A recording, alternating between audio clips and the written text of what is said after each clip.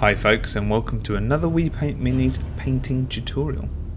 This time round we'll be painting a Slave to Darkness Chaos Warrior in the theme of Khorne. Now this model has been kit bashed quite a bit. I, I changed the head using the Slaughter Priest head. I used a bit of green stuff to kind of make a neck. I also used a skull from the box of skulls to attach to the top of the axe head they're really the only two bits I did to kitbash this model. I wanted to add something to the model to personify Khorne, and what more and what better than skull and a head of a slaughter priest with the mark of Khorne engraved in his helmet.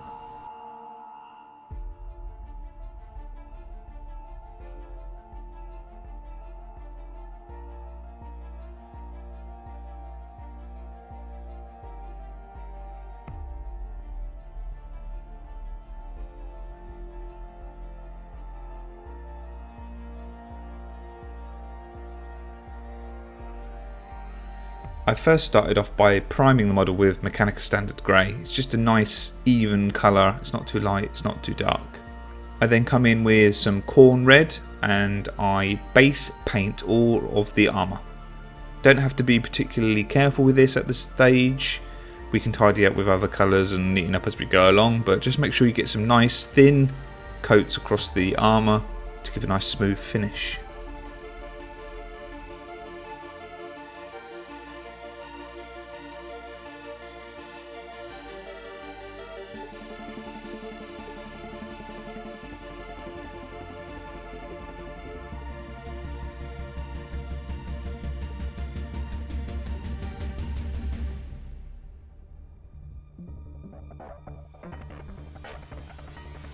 Using Dryad Bark, I now paint all the leather bits, so the boots, the gloves, the weird neck bracing that I created with green stuff in order to make like faux neck on the Slaughter Priest helmet.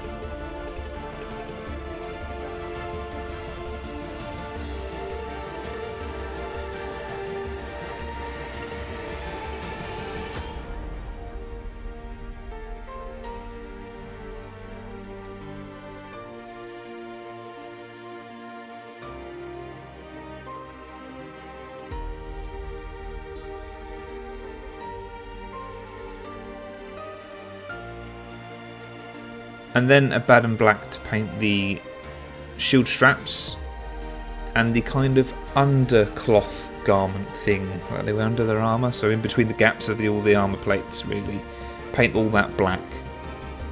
At this point I also base painted anything that was going to paint metallic black. I always find that painting over black whilst it takes a few more coats to go over with a metallic paint, I think it gives a better vibrant look in the end uh, it can be debatable, I guess, but that's the kind of feeling I get when I do it. I also decided that I wanted to paint the straps on the handle of the axe black as well. I wasn't going to be painting it in any particular colour at that point, I wasn't too sure, so I just continued with the black.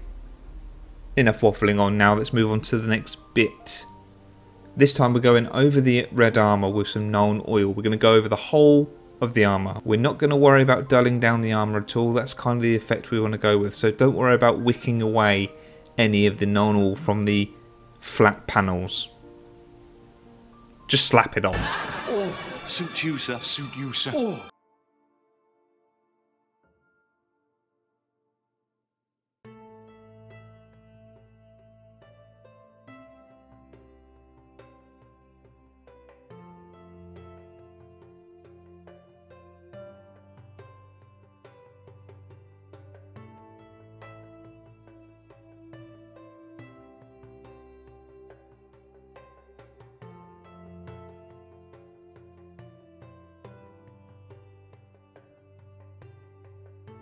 And then come back in with Khorne Red once again.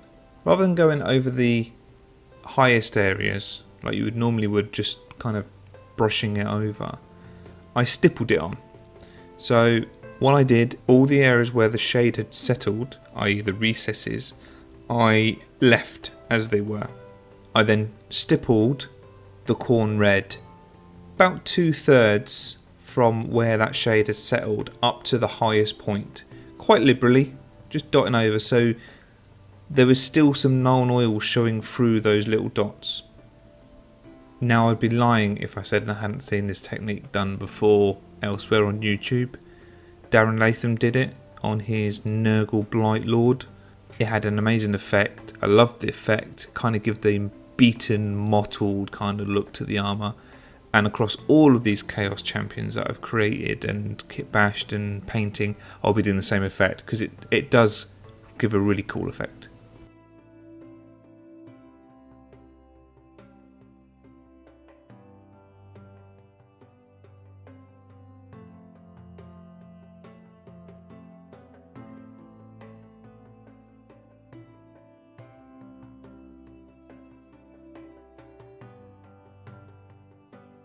I then do this technique a second time using Khorne Red, but at the highest points and about a third of the way down the armour panels, just to kind of give a gradient between the Nuln Oil in the recesses, the lightened up mottled effect, and then the even brighter mottled effect.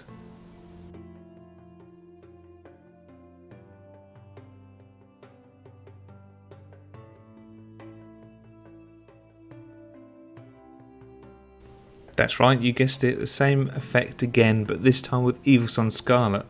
So a lighter red, just on the pronounced areas where the light is hitting the most. So as you can see, I'm doing there on top of the knee pad and across the thigh.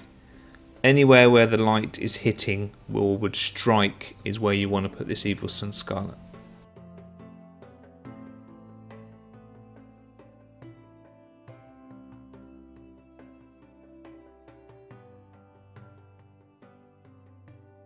Once the mottled effect has been complete, I then use Cadian Flesh Tone as a way to edge highlight all the panel work. It's a bit of an unusual colour, but I think it gives a really nice tone to the armour rather than using something like Fire Dragon Bright or any kind of orange that would desaturate that red. Give it a go. Why not? Something different.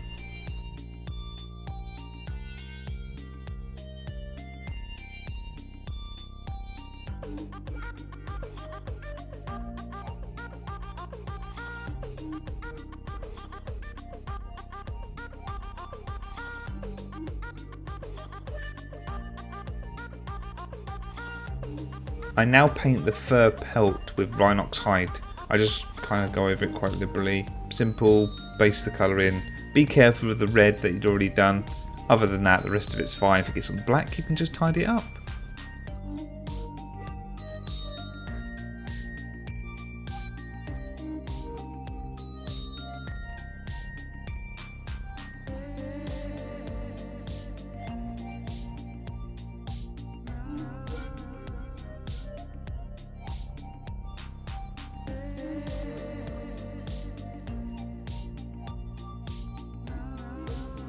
In a moment of absolute madness, I switched back to the boots for some reason. I don't know why I didn't continue with the fur, but I went back to the boots to kind of.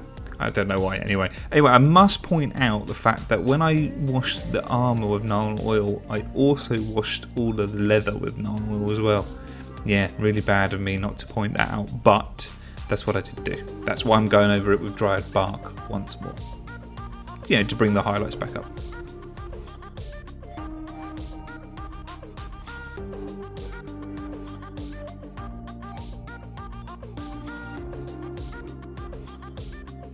To get that worn leather look that I like to get when I paint my leather, I used Baneblade Brown and kind of stippled it on. Got it relatively thin, not too thin that it was watery and run off your brush, but thin enough so you could just dab it on. It would not leave this bright splodge of paint on the model, but would be enough of a subtle difference that you could notice it was. And I went around all the edges, all the folds, creases, dotting this around.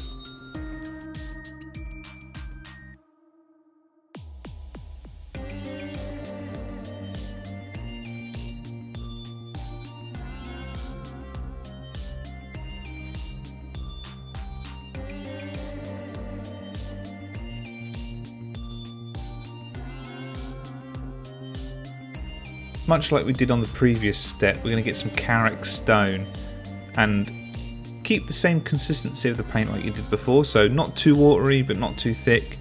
and we're going to add a very fine stipple to the highlights. So things like the knuckles and the extreme folds, extreme folds, extreme folds in the leather. Why is it extreme? It's not extreme. You know what I mean. The areas where the folds are more prominent. That's what I'm trying to say.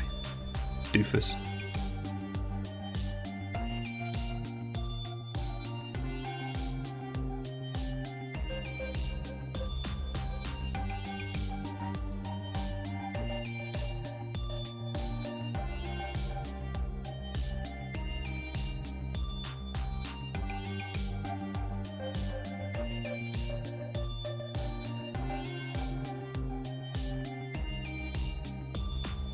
Slap on some straight out of the pot Agrax Earthshade. I'm an absolute animal. I rarely, rarely use Lahmian Medium to thin down my shades. It's probably a bit bad, I know, but slap it on, we can sort it out later, not a problem. The reason we're doing this on this leather is to bring those highlights and the standard leather colour that we've got on there, the Dryad Bark, together. That way it brings the colours together and looks like more of a complete object, like it's an actual real object rather than several layers of colours.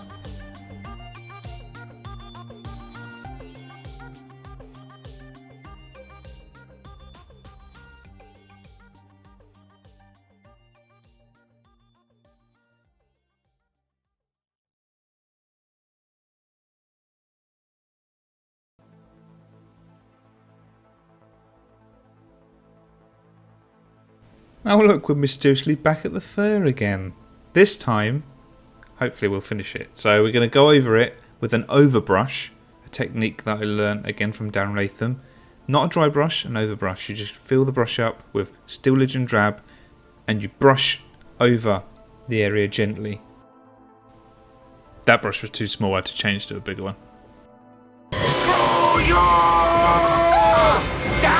Basically what it does is it leaves the darker colour in the recess still, but also it gives a more solid, smooth colour to the to the main surface.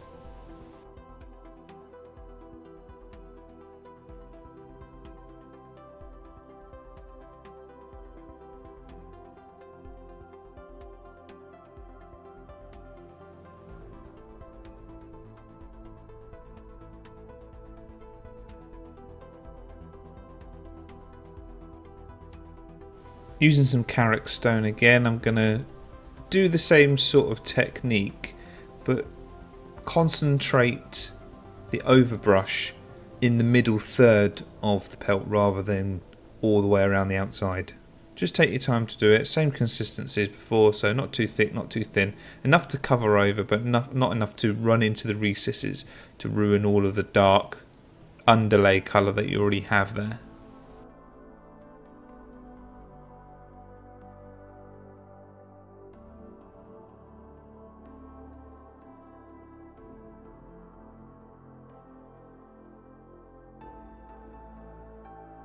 Hello, Agrax, my old friend.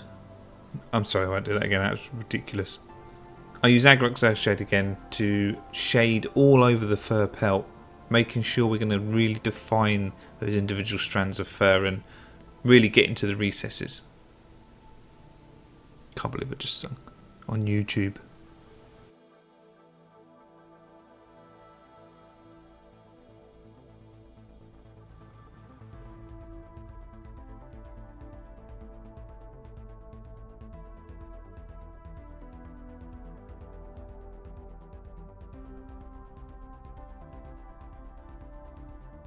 Now for a bit of dry brushing. We're going to use Karak Stone once more. We're going to get a bit on our dry brush. I've got a medium dry brush here. I don't have a small dry brush. So I'm going to have to use this one. So be very careful if you don't have the correct tools like I don't sometimes. Just be careful. Put the paint on the brush.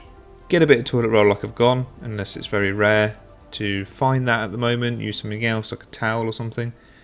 And then brush off the excess paint onto the onto the material you're using. All you want to see on there is kind of the smallest amount of paint. That's when you know it's ready to brush on. Then we're going to brush that on across the whole pelt just to bring that Karak stone back up to reduce the darkness that we've just created from the Agrax Earthshade.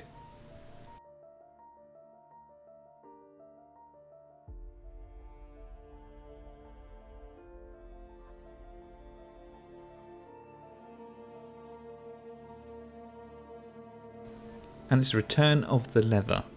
The black leather to be precise. What we're going to do here is get some Administratum Grey and use it to kind of edge highlight the black straps that he uses to hold the shield and the areas of the under garment thing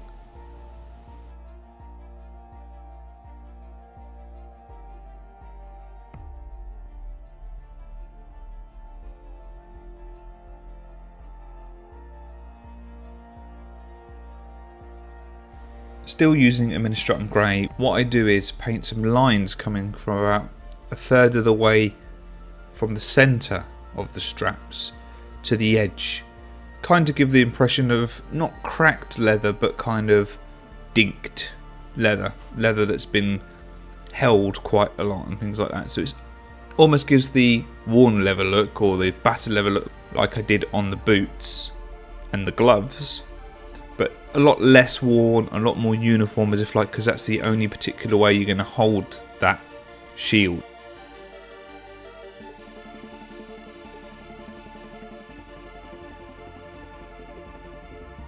Now onto the cloak. I'm using Incubi Darkness here, and all I'm doing with it is watering it down quite heavily, and then applying it to the high areas of the cloak. So where it kind of dips down that's we're leaving that black like the blackest darkest darkest. But as we get further up and where the light's hidden it so as you can see it's quite a big surface area. That's where we're painting Incubi Darkness. We're going to do it in several layers. That way we can build up a brightness as we go from the lower parts of the cloak to the higher parts of the cloak.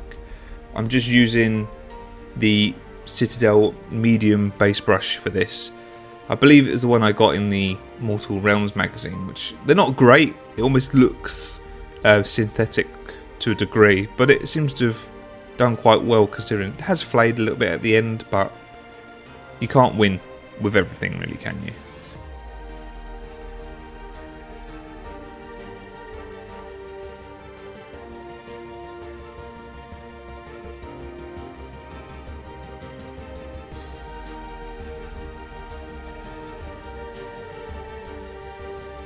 Once I'm happy with the gradients of the Incubi Darkness, I then move on to Kabalite Green.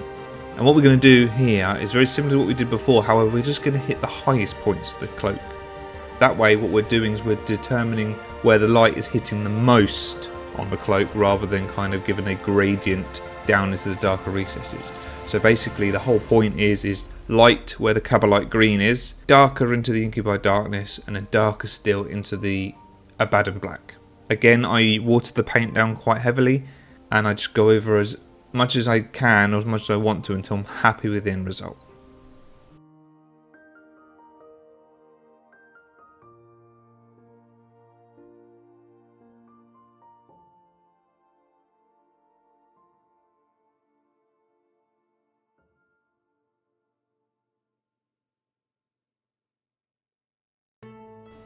And finally on the cloak I use Sybarite green to edge highlight. So I'm going around all the edges, all the tattered bits, all the kind of straight bits, all the curved bits where they are pronounced.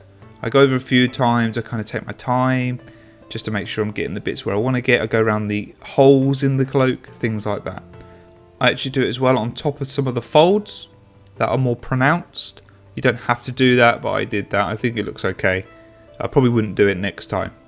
What you may notice from me painting this cloak is I've not used wash once on it.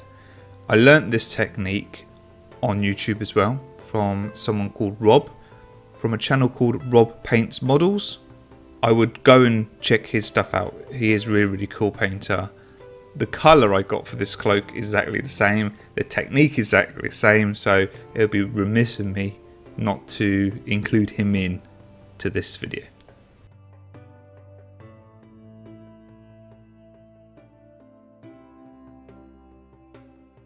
Now onto the skull on top of his axe and the horns on his helmet. I'm going to start this by basing it with Zandri Dust. I always water my Zandri dust down quite heavily as I find that it dries up and clumps quite easy. So I would recommend something like two parts water to one part paint. That way, what you'll do is it might take a few covers or a few coats to cover whatever you're painting. However, it gives a smoother finish in the end and therefore will look better. In my opinion, that is.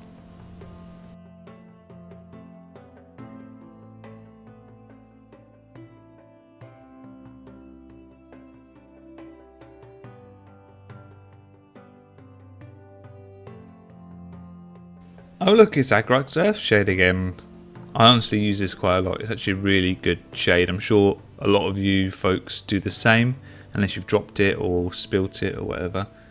But it's a really good shade to use when defining bone, in my opinion. I think it gives a really nice not bleached look because obviously that means it's been out in the sun for a long period of time or something like that, but a fresh look, I find. So it's one that's just been ripped from the carcass of his enemy and stuck onto the axe.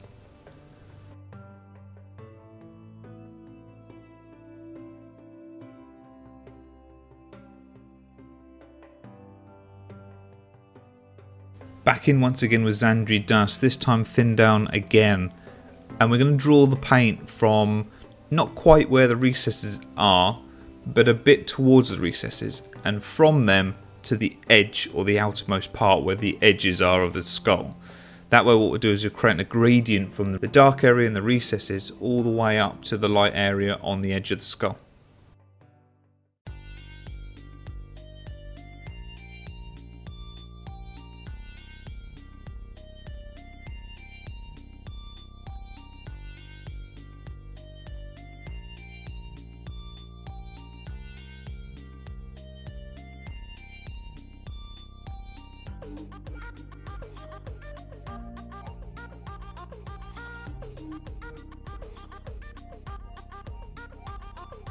Coming in with some Ushabti bone to define the edges further.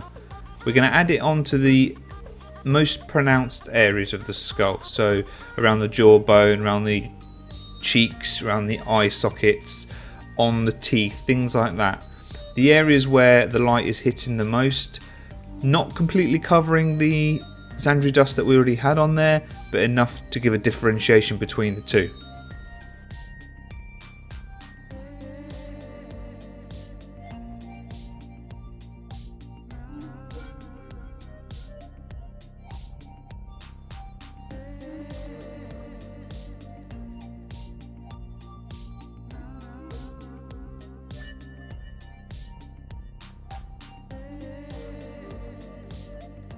And then a final edge highlight on the most pronounced areas using Screaming Skull. I did this technique also on the horns. Although later on I do add a little bit of black paint watered down quite heavily along the tips of the horns just to define them and make them stand out from the fur. However I didn't record it because I'm a noob.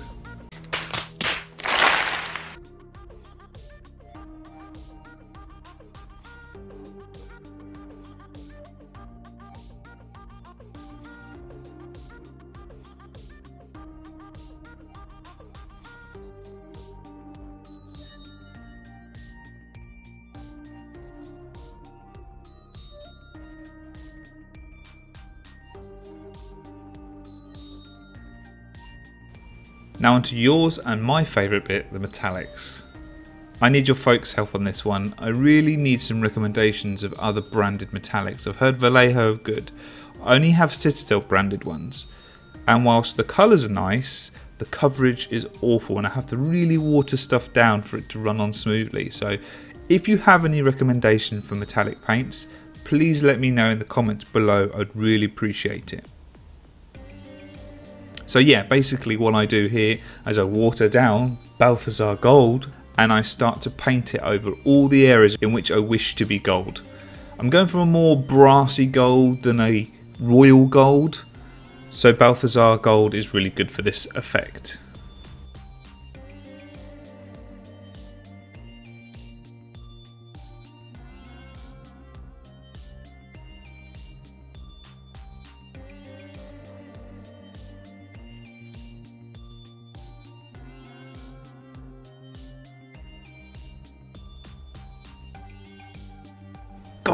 Damn it, Agrax Earthshade. Uh, excuse me. I used Agrax Earthshade to wash this, if you hadn't guessed already. Again, straight out of the pot, no worrying about watering it down, all over, get that nice, dulled gold look.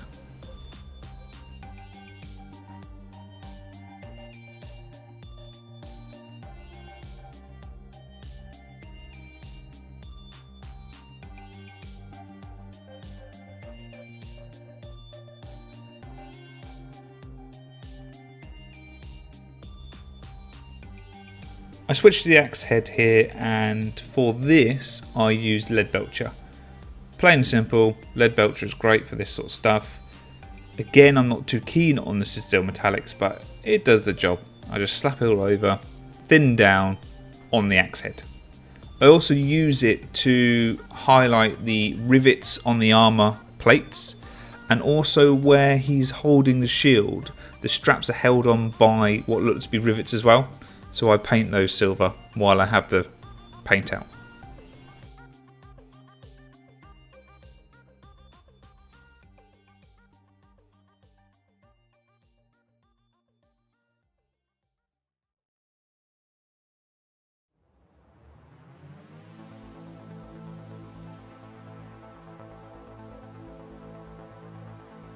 Switching to Nuln Oil, I slap it all over the axe head and any of the other areas in which I painted silver, apart from the rivets. The thing is I don't want to get black on the red, so I avoid it. Plus it kind of looks like it's been chipped and nicked and banged and dinged, on all other describing words.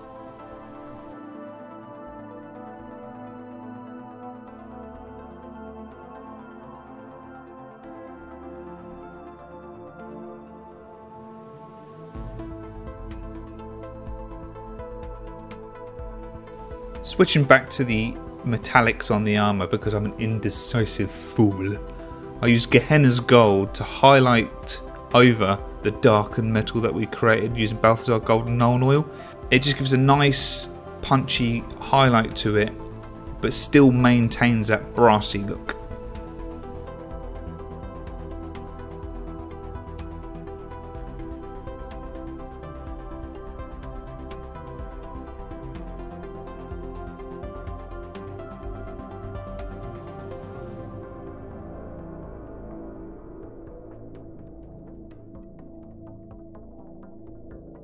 Once the gold's been done, I switch back to the axe head.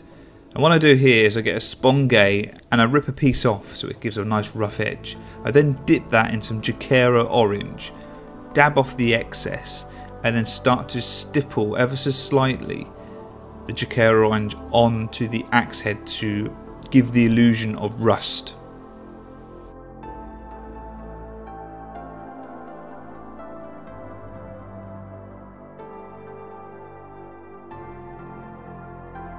I did the same technique but this time with Skrag Brown on the Sponge.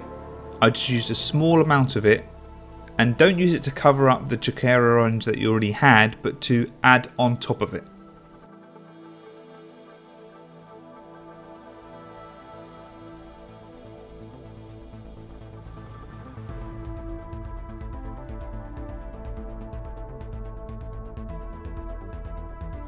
We're on the home stretch, folks, and we're going to see how many more times we can say the word Spongay before someone makes a comment saying I'm saying it all wrong.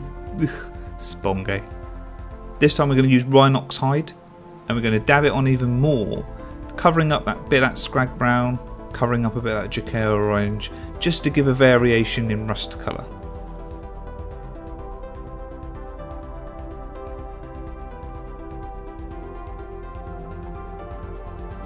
And finally, it's back with the lead belcher on the Spongay.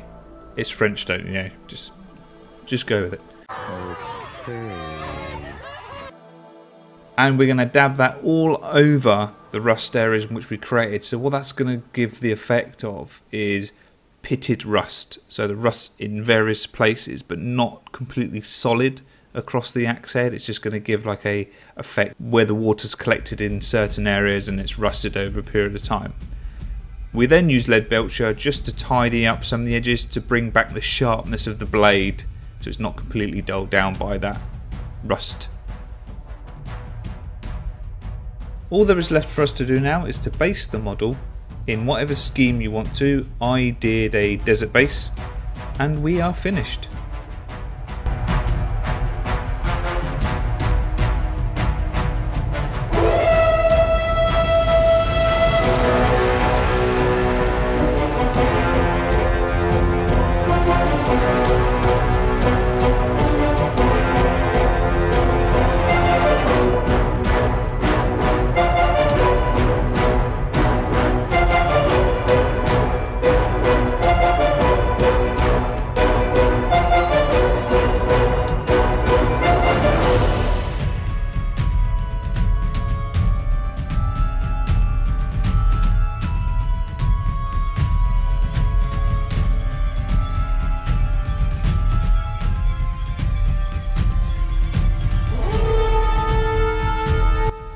Huge thank you to everybody who watched this video. For those of you who watched all the way to the end, that is awesome. For those who watched just at the beginning, that is awesome. I just appreciate the fact that you've taken the time to at least try.